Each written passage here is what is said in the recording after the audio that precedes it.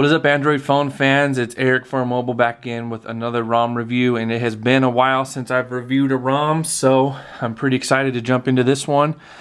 Um, this ROM is called crDroid and it just barely got an update today that's why I'm doing a fresh video on it and I'm really excited because I ran this ROM for a little, a little while when it was first ported over to the G3 back when the Lollipop ROMs were first coming out but I didn't really feel like it was ready for prime time but it's gotten a bunch of updates since then, and this latest one is been a really, really rock solid update. So let's get into what makes this ROM so good. First of all, it is um, based off of stock Android Lollipop. It is version 5.0.2, which is the latest version of Android out right now. And it's got a whole bunch of cherry picks and features added in from CyanogenMod and a bunch of other ROMs. So let's take a look at those. And you'll probably notice right off the bat, as you look at the phone, everything is super tiny. They've um, the developers of the ROM have gone and they've really scaled everything down super tiny, even smaller than they um, normally do on other ROMs. So the DPI on this ROM is currently set to 500.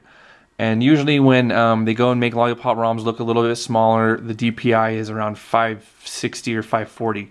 So it's everything's really, really tiny. And I actually feel like I like it a lot. I mean, if you jump into the App Store and you're seeing, you know, six apps at once, seven apps at once, um, there's just a lot of information being displayed on the screen. So I like the fact that the DPI has been scaled down significantly. Um, jumping into the settings, um, you've got all the basic settings as far as your display and sound and um, accounts, all that good stuff. But where the good stuff is is under the personalization tab here. So the crDroid Custom is where all of the add-ons are going to be for this ROM. And as you can see, there is a plethora of them. I can say that by far this is probably the most feature-rich ROM that I've used so far. There's a lot of ROMs that come close um, that have a lot of um, you know customizations thrown in here or there.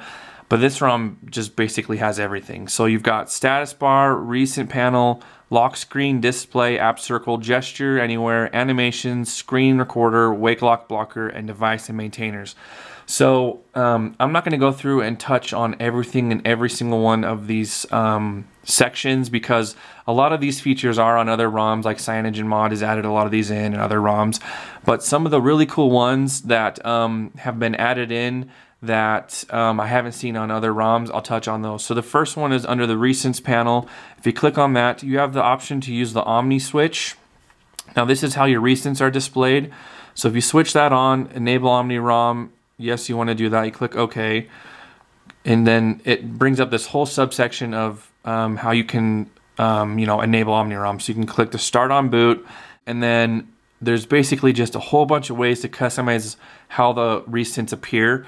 But once you have it enabled up here and you come down and click your, your recents button, it's no longer the card stack like you see in stock Android. It's this, what they call it Omni Switch. And so you can go through and select, you know, the most recent apps. You can jump into them from wherever you are, just like normal. Um, but the cool thing is, is they've also added in, um, and oh, I forgot to mention, you can also get to it. You see this tiny little um, kind of cyan looking colored circle over here on the corner. Instead of just hitting that button to access them, you can swipe from anywhere on your screen, um, or you can swipe from any app you're in on the side right there to enable them. And they've also got the software keys for, you know, home and back and settings and your app drawer. So that's a pretty cool feature and then um, that's fun to use. Now, as you can see with my phone, the way I have it set up currently is I've moved the status, or I've used moved the clock and the PM to the center of the status bar. I've taken out the battery icon and added 100%. That can all be done under the status bar um, tweaks. That's nothing that's really new, but in case you're wondering how I did that, you do it through the status bar section right there. Another really cool thing that I have only seen in this ROM and none others is the lock screen section.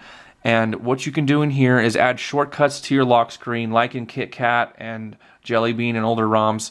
Um, to you know have quick access to apps. And so I'll show you what I mean by that. These middle screen shortcuts, I've added some to the lock screen already. So if you turn the phone off and turn it back on, you can see right there, I've added these specific apps to my lock screen where in I haven't seen any other ROM yet, at least for the Verizon version of the G3 that has this option. And if you want to get into one, you simply long press on it. I missed it. Simply long press on the app and boom, it jumps you into that app. So I, I think that's a really cool feature that, like I said, that hasn't been implemented into any other ROMs that I've seen yet. Now, there's also a feature where you can change these bottom um, applications. I haven't done that yet, so where you would swipe in to access your camera or swipe in to access your phone, you can change these at the bottom as well. Like I said, I haven't done that. But I just think that's really cool that we have that option now, finally. I was waiting to see who was going to be the first ROM to you know, implement shortcuts on the lock screen. So crDroid, here it is. Just a couple other quick things here under the crDroid custom settings. Um, there's a screen recording, which is really cool. This is awesome if um, you want to make videos, but you don't have a, a camera or whatever to do it with. Um, you can record straight from the screen of your phone. Wake lock blocker basically um, you know handles uh, your data connections and keep your keeps your device from while it's asleep constantly um, activating the processor and stuff so you'll get better battery life. And then down here at the bottom is the device and maintainers. So this ROM for the G3 at least for the Verizon version is a port. So this isn't a, an officially supported device for this ROM. You can see here all the officially supported devices and the G3 is on here, but I believe it's just most of the international versions. I think maybe the T-Mobile one. I'm not sure what all the other carriers um, specific codes are there. But um, this has been ported to pretty much all of the G3s, so we can enjoy it. I can say without a doubt that this has been really stable. I haven't had freezes or hangups, anything like that. The battery life's been rock solid. So even though this isn't an officially supported ROM, it has run really, really well. And as soon as these um, the devs for the ROM have released updates. The maintainers have pushed them out to all the other devices right away, so you get updates just as fast as you would if your device was officially maintained. So that's really it for the crDroid customizations. There's a lot of things I didn't go into, so if you download the ROM, um, which I highly recommend, you can go through and play with the vast um, selection of customizations that's been added. Like I said earlier, this is by far the most feature-rich ROM that I've used so far. So jumping back out of there, the next thing I want to talk about is themes. This is finally being added to pretty much all Lollipop ROMs now. This is a CyanogenMod feature and basically what it allows you to do is theme your device to you know look different. So when you jump into that category, it'll show you what your currently um, theme is set to. So it's just the default theme that the ROM boots into.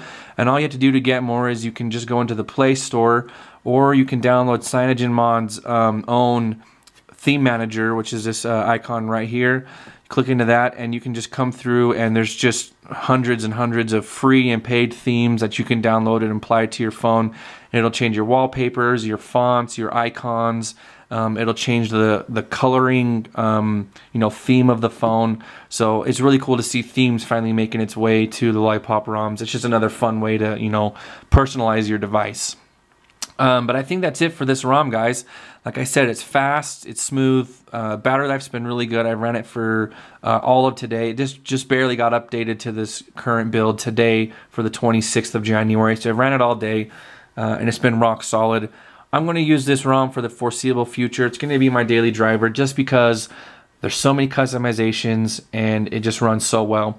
So that's it for this ROM, guys. I really appreciate you checking out this video. If you liked it, please give it a thumbs up. If you're new, uh, please subscribe. I'll uh, keep turning out these, um, you know, ROM review videos in the future. And uh, that's pretty much it, guys. We'll see you on the next one.